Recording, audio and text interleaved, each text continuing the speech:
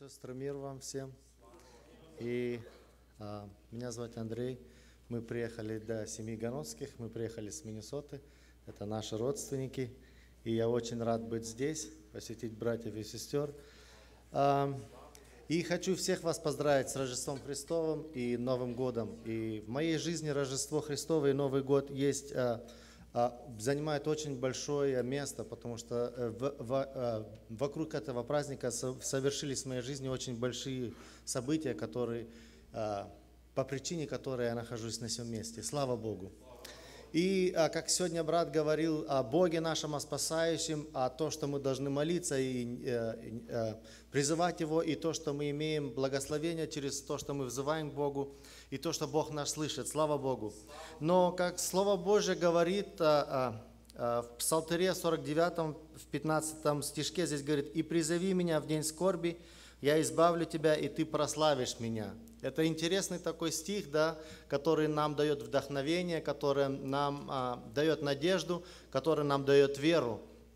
И этот стих а, может использовать любой верующий, который приходит к Богу, который признает его Иисусом и своим личным Спасителем.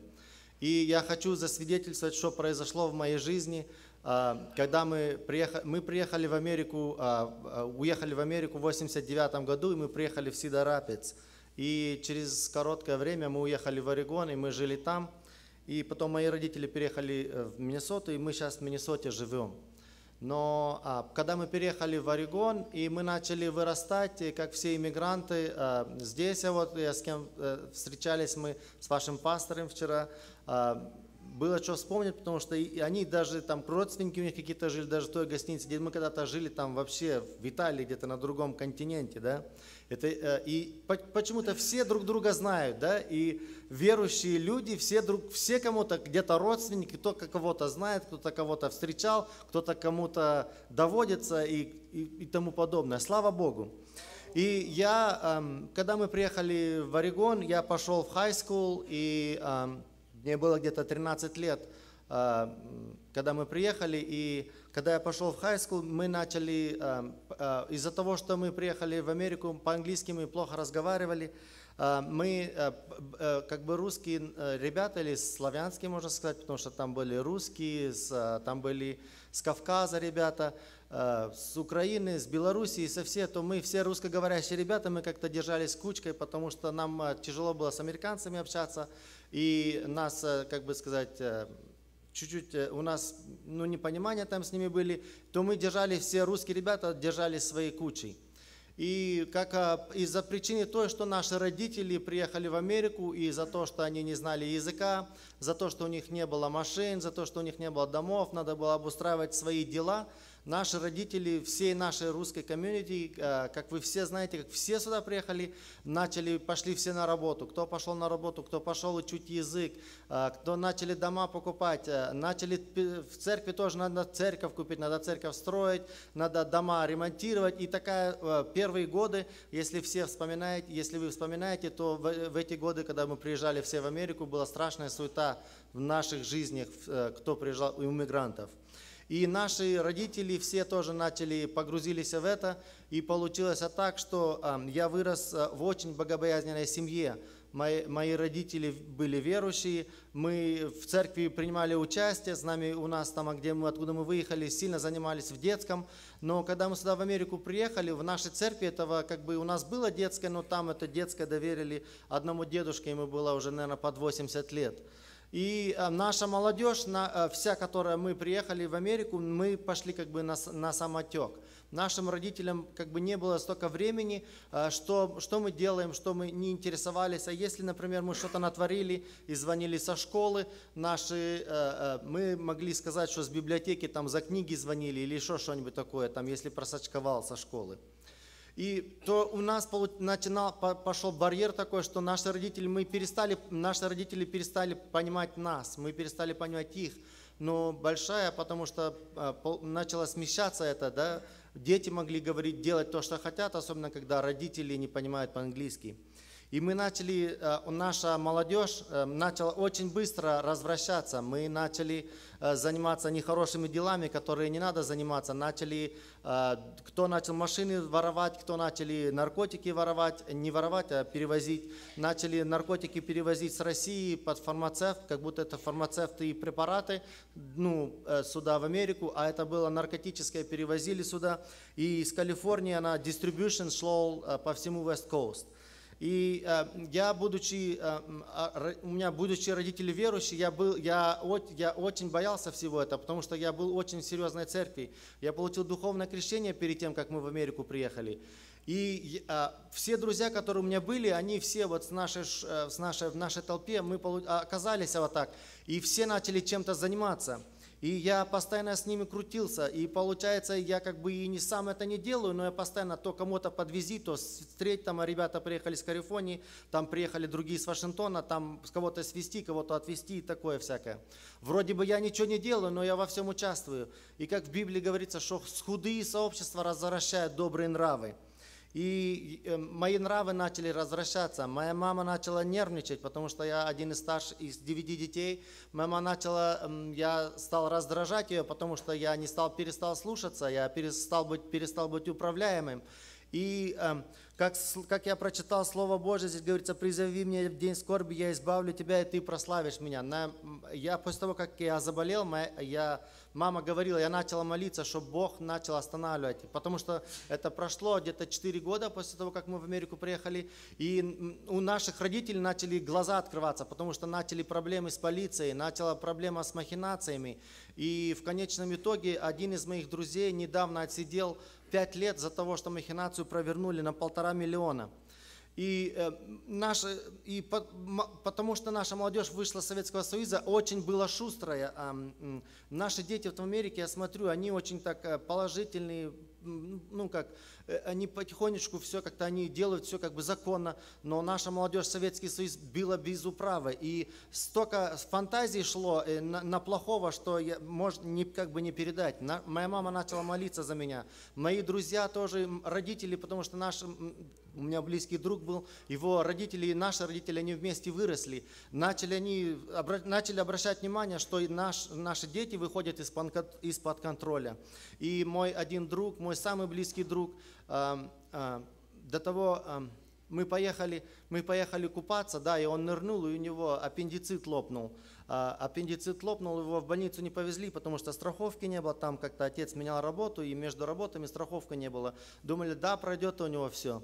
И в конечном итоге, когда уже он начал там терять сознание его, э, приехали какие-то американцы там в гости, говорят, если вы его не отвезете в больницу, он умрет, вас посадят. И, его отвезли э, в больницу уже э, полу таком без сознания, и его еле-еле откачали. Он долго в больнице лежал, после того, как ему там промывали все. И до того, как это случилось, другой из моих э, друзей, с которыми тоже занимались нехорошими делами, греховными делами, а он поехал еще с одним моим другом, он сейчас тут живет в Арканса, он покаялся, и у него тоже семья благополучная, слава Богу, я благодарю за это Бога. И они, поплы, они пошли рыбачить, и там плотина была, не плотина, а сплавляет как дерево, бревна, лакс, да, и они на лак залезли туда и рыбачили с него, и ныряли туда, купались, а лето было. И один из этих хлопцев нырнул, он просто не всплыл. Он мог плавать, он мог, э, он мог э, купаться, он знал, что делает, и там не было ни камней, чтобы там он ударился. Он просто нырнул и просто не всплыл. Прилетели, э, приехали водолазы, ну, спасательная эта группа, они его вытащили, прилетел вертолет, но его не смогли откачать, он умер, ему было 16 лет. И через, наверное, через месяц-полтора мой друг, он так ныряет, получается, в сентябре это было, и он, а, у него аппендицит, и очень сильно большая проблема была. Я с ним был в то время, когда он сильно, он страшно мучился, и у него страшные боли были. И мы как-то не обратили внимания, что это, ну, у нас как бы, когда мой друг, наш друг потонул, у нас было сильное покаяние как бы в церкви, но оно чуть-чуть время прошло, оно вроде бы все улеглось, ну, один потонул, да и все, что с нами может случиться. И прошло короткое время, э, подошел сентябрь, А, И я от своим родителям говорю, пап, у меня что-то ноги начинают там снизу болеть. Я работал в магазине, как а, там Фредмайер называется на West Coast. Ну, как, он как Walmart. И я работал в молоко. Моя работа была молоко загружать, мороженое, яички, ну, в этом, в холодильниках там. Я говорю, у меня что-то ноги начали болеть. А, Отец меня повез в больницу, меня проверили, говорят, ты, может быть, что-то там растянул. Меня а, проверили, ну ничего у тебя нету, там опухоль там началась, дали мне жгут, чтобы, говорят, что у тебя там мышцы растянуты или что, отправили меня домой. Через два дня я говорю, папа, у меня очень сильно начинают ноги болеть. Я позвонил на работу, говорю, что я не могу на работу выйти. Они говорят, ты, наверное, просачковать хочешь это. Я приехал, показываю своему боссу, говорю, вот, вот такая проблема. Он говорит, о, да, действительно проблема. Отпра- отпустили меня. И отец меня повез, они начали рентген мне сделали, а, просмотрели, и у тебя, говорит, ну, что, может быть, сломал ты там что-то, чтобы, может, у тебя хрящики повредились. а, И просмотрели, они ничего у тебя, мы у тебя ничего не нашли. И у меня очень быстро начало прогрессировать, мои ноги настолько опухли, что там ни щиколоток, ничего не было видно. И а, у меня страшные боли начали, у меня начало, начали кости сильно ломить. А, у меня начало страшные боли, э, начали подниматься туда ниже колен. Если вы а, обратили внимание, я сегодня я на молитве не стою уже лет 10, потому что у меня по какому-то причине, если я стою на колене, у меня а, опухает, у меня жидкость там собирается. Я думаю, как апостол Павел писал, что дал мне жало, что помнил, что со мной произошло. Слава Богу. И я, и, и а, когда вот это все со мной начало происходить, а, а врачи, у меня был врач, ему где-то было, ну, уже он около 70 лет, и он был верующий, лютеранин, и, и он очень хороший был врач. И он, а, а, начали с меня кровь брать, а я- они начали интересоваться, а, что с тобой случилось, что ты делал, что ты там, где ты работаешь, что такое. А потому что они ничего не могли разоз- разузнать. Я начал вес терять, у меня вся пища, которую я при- начал принимать, э, она начала извергаться в любом виде, э, э, в течение там, получаса, когда я покушал. Я стал быстро очень вес терять. Я э, в течение, наверное, полтора, месяц-полтора я, я где-то стал около 110-115 паундов. А, С меня начали брать много крови, они меня начали обследовать, они ничего не могли разузнать, что со мной происходит. И, а, потому что я вес потерял, в кровь они берут, ноги у меня опухают, канцер как бы у меня нету. И когда прошло уже, наверное, полтора месяца, до двух месяцев, я уже полностью э, дошел до такой кондиции, что, э, во-первых, я не могу ночью спать, у меня, так- у меня страшная ломка по всему телу, у меня страшная боль по всему телу, мне э, страшно холодно, я не мог, я ходил в такой куртке, которая как с бараньей шкуры, я спал на, под- я спал на кровати с подогревом, и в комнате должно было быть сильно жарко. Мой брат, который со мной в комнате жил, он, он съехал, в, ушел в другое место, потому что невозможно в такой жаре было жить. И эм, они меня отправили на обследование к одному профессору, там у нас в университет, и когда он меня обследовал, он э, обследовал меня с ног до головы, и всю кровь они проверили, и он говорит, у тебя лейкемия, лейкемия или как по-русски это, Э, короче, э, если сказать, то это эм, рак крови, да, и эм, у тебя белые э, клетки настолько низкие, по-честному, ты уже мертв, ты уже мертвый, но ты, э, мы тебе, что я тебе могу сказать, мне тебя очень жалко, э, а мы тебе можем, что мы тебе можем сделать, Э, мы тебе можем только дать обезболивающее, потому что у меня страшные боли ночью были, и мы, мы тебе можем дать другие таблетки, чтобы у тебя почки и печенка, чтобы у тебя не разложились. И вот это, вот это время, когда уже до этого дошло, я отца просил, когда он меня а, попросил туда поехать до этого специалиста, я не хотел туда ехать, потому что, во-первых, то, что у тебя страшные боли, а во-вторых, когда туда в больницу приходил, они с меня кровь брали, у меня и так крови не было, и я ничего не кушал, я только мог сок пить. И они все равно кровь брали. После того, как с меня кровь брали, мне так худо было ужасно. И я говорил, пап, я не хочу в больницу ехать. А, а то, что он, я старший сын был,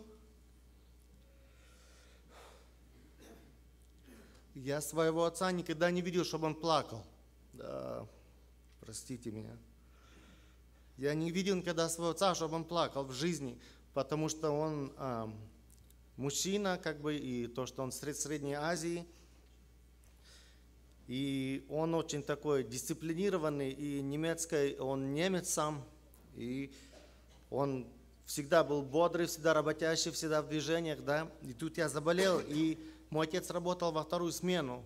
А, и он просто, когда после работы приходил, он просто садился возле меня и просто сидел и плакал. И когда уже я до, такого, до такой кондиции дошел, через два месяца, он, он меня попросил, говорит, пожалуйста, поехали ну, в больницу. Я говорю, пап, мне так страшно больно, мне, э, что мне так много, столько крови берут, еще сильнее больно. И я бы хотел одно место прочитать и чуть-чуть в конце своего свидетельства, несколько еще других мест порассуждать над этим. А, оно очень относится к моей ситуации, которая со мной произошла. Это будет глава 28, 9 стих. Здесь говорится так. «Кто отклоняет ухо свое от слышания закона того и молитва мерзость». А, вы знаете, когда я находился в такой ситуации, когда я находился, лежал полтора месяца вот эти, да, я перестал ходить, я только мог на корячках ползать. Если там мне надо было, если мне утром не помогли там в туалет сводить меня, то а, если, например, по работам все разъехались, в школу ушли, если мне надо было там умыться, что-то еще, я, я не мог наступать на ноги, я только мог на четвереньках в туалет отползти. И за это времени а, я начал проверять, мне Бог дал столько, а, ну, время, во-первых, потому что настолько у тебя такая страшная, у меня страшная боль была, что я не мог ночью спать. Я ну, подал в забытие или как это, терял или сознание, или как и, может быть, на 15 минут я просыпался опять, то я находился сам собой в страшных болях 24 часа в сутки. И я начал, начал проверять свою жизнь, я начал думать, что со мной происходит, что мы творим, что мы делаем, какие choices мы делаем, что мы, а, что, что мы для родителей делаем, что мы вообще для Бога делаем, почему я был молодой, я тоже, вот как эта молодежь ваша здесь сидящая, я тоже был в хоре, мы тоже сидели в хоре, мы приходили, все нормально, как, как надо на хор, мы участвовали, пели, а потом после того, как мы были на спевках или в собрании участвовали, мы ехали своими делами, занимались. И я начал, это начало меня страшно осуждать, э, потому что а, Бог в, такие, в такую ситуацию завел, что, что, ты, что ты ничего не можешь сделать. И я начал каяться, я начал у родителей своих просить прощения, у матери своей, у мамы, у папы. И как родители, они, они, когда видят своих детей в таких положениях, они прощают сразу. Это ты начинаешь понимать, когда начинаешь, когда у тебя появляются свои дети. Слава Богу за таких родителей. Я благодарю Бога за родителей, которых мне Бог дал, и которые, которые вовремя начали за нас переживать. И когда э, я начал взывать Богу в своих, в своих проблемах, а как здесь Слово Божье говорит, кто уклонял ухо свое от слышания закона, того и молитва мерзость. А, я тоже, это свидетельство в прошлом году у нас был молодежный кемп, я это рассказывал там, и я ударение поставил на то, что молодежь, а, большинство придут на собрание, сидят с телефонами, играются. Ну, как бы для молодежи можно сказать, что кто-то с телефонами играется, кто-то... Я один раз приехал на собрание, сидел так с семьей, и а, сидит один молодые парни, и они играют Grand Theft Auto, знаете, это я потом уже узнал. Я как-то спросил, говорю, что они там гоняют это, женщин давят на машине и все такое. Кто-то из молодежи сказал, это Grand Theft Auto. Как можно вообще прийти на собрание и э, играть, там, давить кого-то, убивать прямо на собрании? И мне вот это, это очень печально стало, и когда он, мне предложили на молодежный кем поехать, я свидетельство говорю, и я свое свидетельство э, состроил вокруг этого стиха, что кто уклоняет ухо свое от слышания закона, того и молитва мерзость.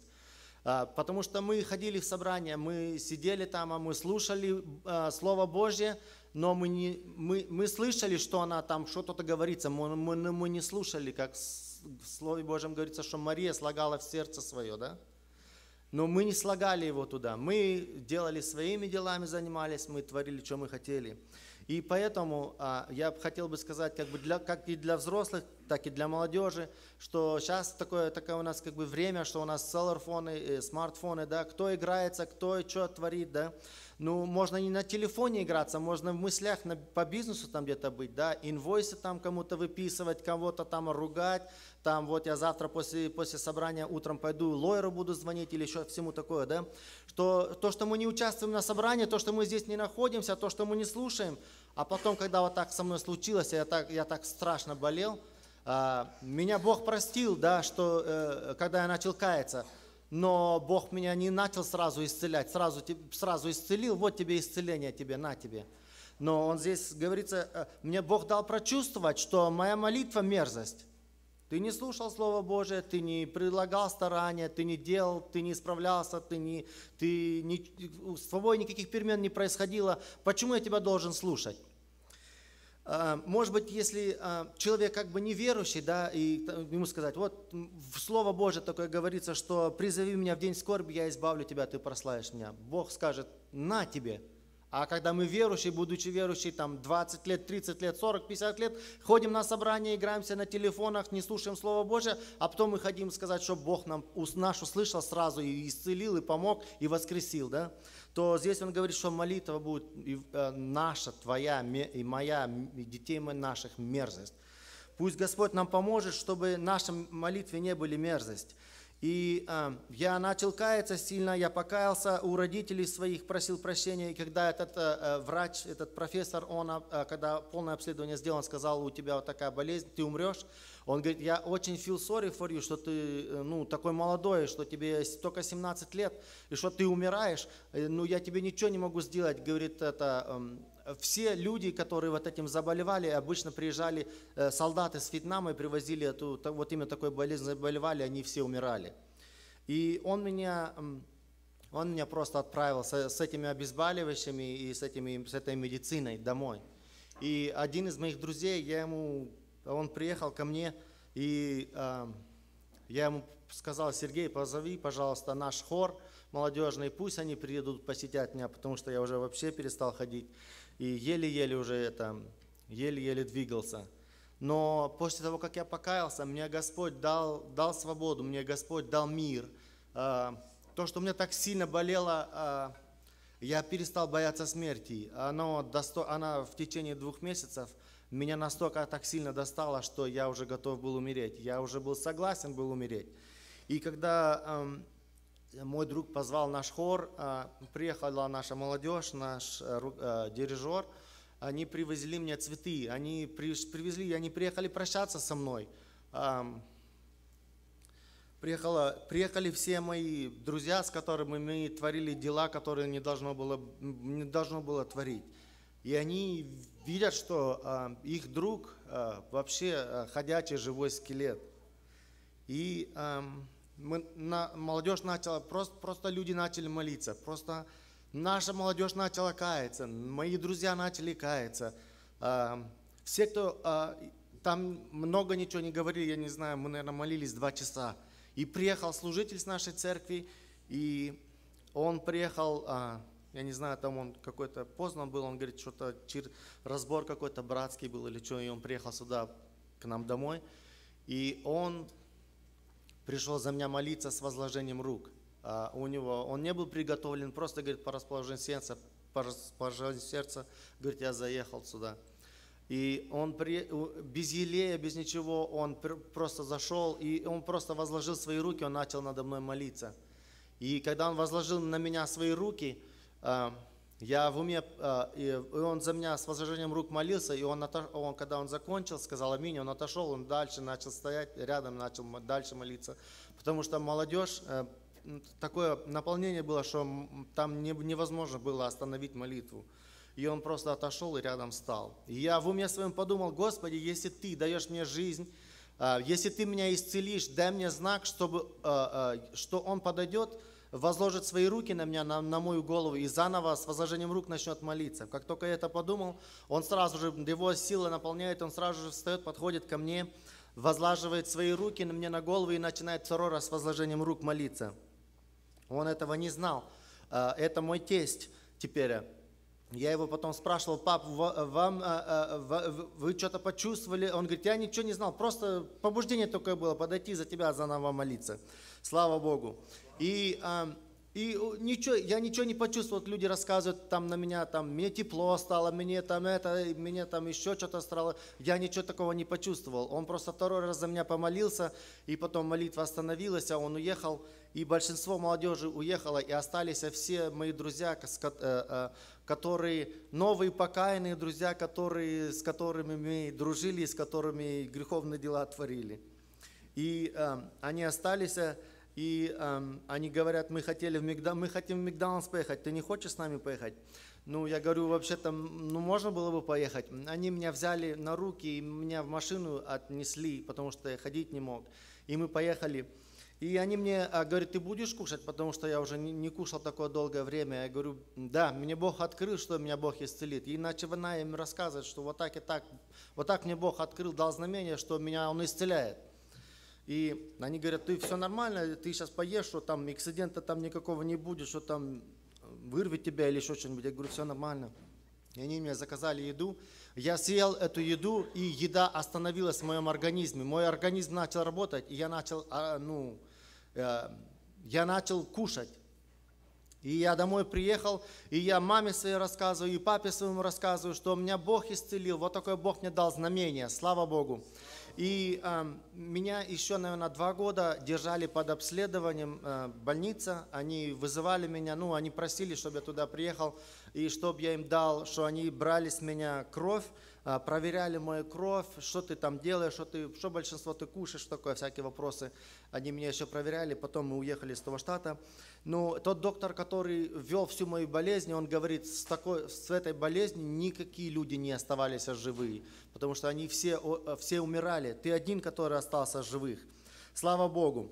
И когда, когда меня Бог исцелил, и это а, произошло исцеление around Christmas – Э, и наша молодежь поехала э, калидовать. Э, next, город, наверное, может быть 30 или 40 миль. И мы приехали, зашли в один дом. Зашли в один дом и там калидовали.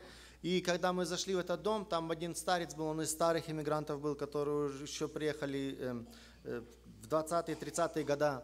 И этот дедушка, этот дедушка, он просто, он, он, он, то, что пришла молодежь к ним в дом, то, что мы э, э каледовали там у них, то, он во столько возрадовался, он наполнил такая сила, и я только сейчас начинаю понимать, когда уже у меня свои дети, да, почему, э, почему его наполнила такая сила, почему он радуется, что, например, когда у меня были маленькие дети, я как бы только радовался за своих детей. Сейчас а я поехал на кемп, да, там а, наша молодежь нашей церкви, кто-то кто кается, кто-то плачет, кто-то получает духовное исцеление. Я начал чувствовать, что у меня начинается появляться, эм, э, как это говорится, чувствование Христовое, да, когда мы начинаем, э, когда мы, это нормально, когда мы люди переживаем за своих только детей, да?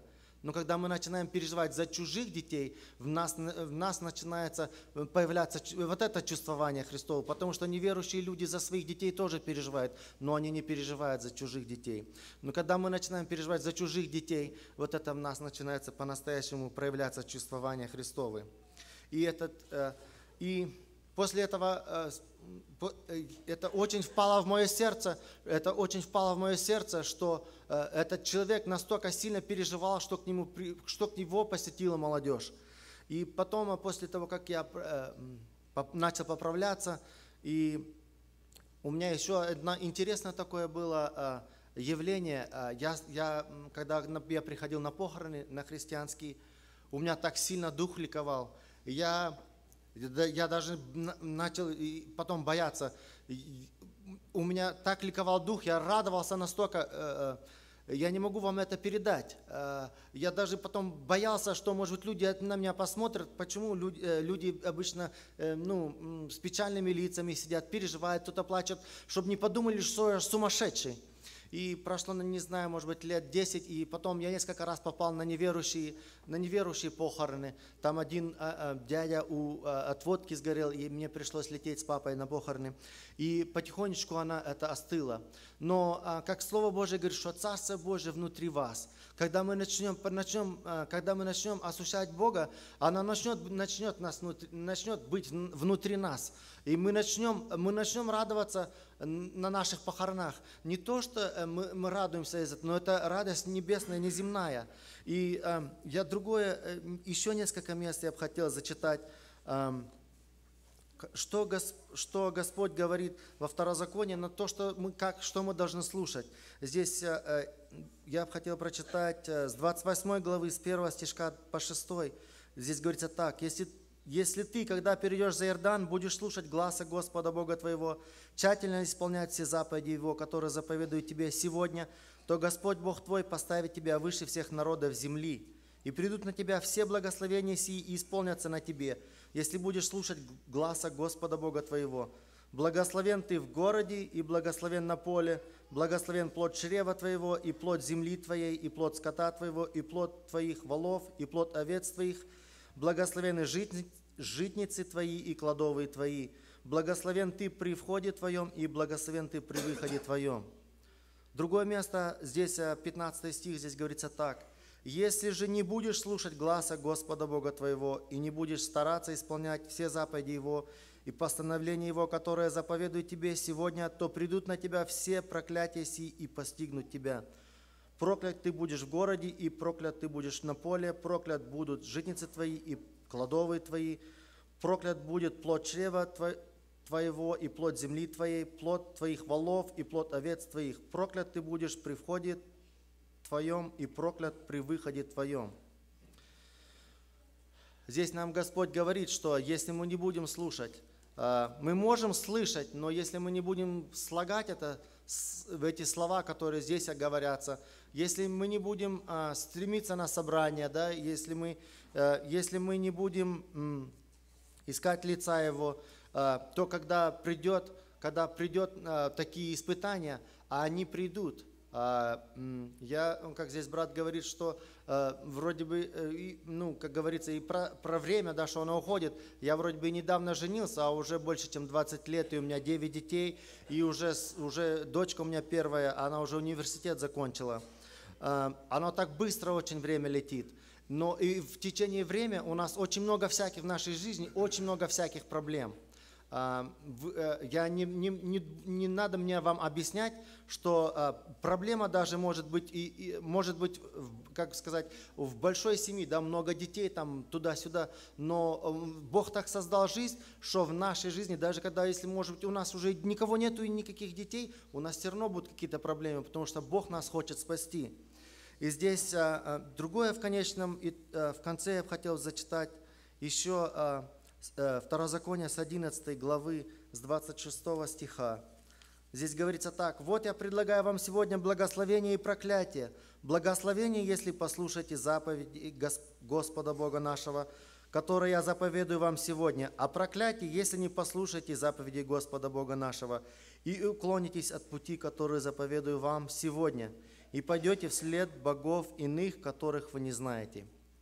Слава Богу, что мы на всем месте, слава Богу, что мы знаем Бога, которого, которого мы знаем. И слава Богу за Его рождение, которое мы сейчас праздновали несколько дней назад. Слава Богу, что Он родился, что мы пришли на это место. И слава Богу, что мы можем уповать на этот стих, который говорит, «Призови меня в день скорби, я избавлю тебя, и ты прославишь меня». Аминь. Будьте благословенны.